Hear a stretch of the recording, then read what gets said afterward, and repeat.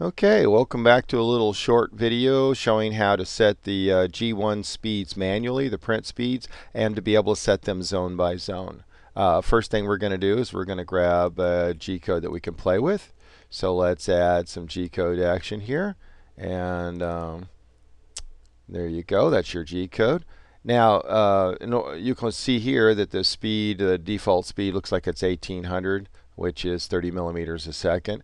A little bit fast for a small part like this. We're going to slow it down because this is a small round part and we want to get beautiful, beautiful circles out of it. So we're going to slow it down just a little bit, give it time to cool from layer to layer. Um, first thing I'm going to do is I'll go here to G0, G1. I'm going to click set all G1 speeds to and it will set them all to 1500 because that's what this is set for. And now you'll see right here, see how it's set to 1500. Okay, now we've done that, we're going to want to even slow it down more. So if you look at this part, right in this zone right here, this is the area where we're going to want to start more cooling and slow it down because this is a very small shaft. It's only on the order of about 8 millimeters OD. So uh, certainly not more than 10 millimeters, and it might be as small as 5 or 6. I mean, from here to here is 10 millimeters. You can see that's smaller than that.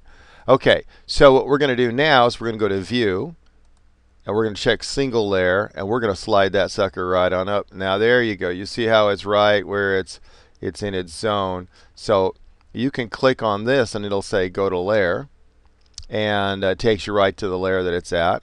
And then you can insert, and we're going to crank the fan up all the way to 100%. And we're also going to insert uh, changing the head temperature up to 240.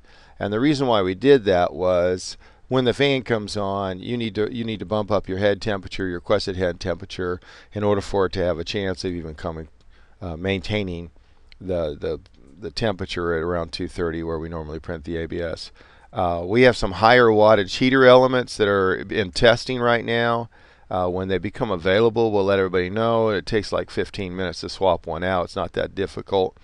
Um, and certainly it'll have some effect on it. There are two changes uh, that we're looking at doing on the design to make these uh, specific types of parts more possible. Maybe you'd get an MK1 uh, next gen head.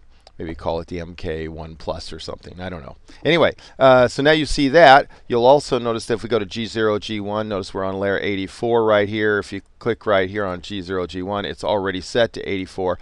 As you move the slider bar here, uh, the upper bar controls, uh, so I, now it says 87, and I will go back to uh, RG0, G1, you'll see it says 81, set 87, sorry. Uh, it They stay in sync with each other. So now I'm going to set the speed down to 800 here from layer 87 on.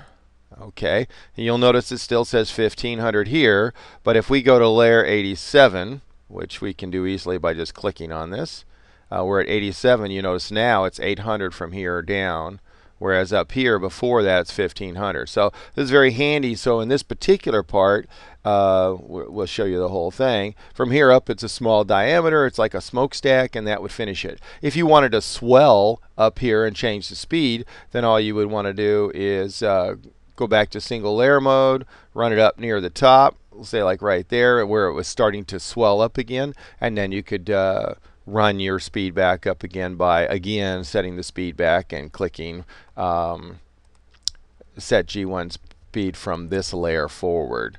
Okay, so um, there you go. That's it in a nutshell. That's how you set the uh, speed manually in different zones. Okay.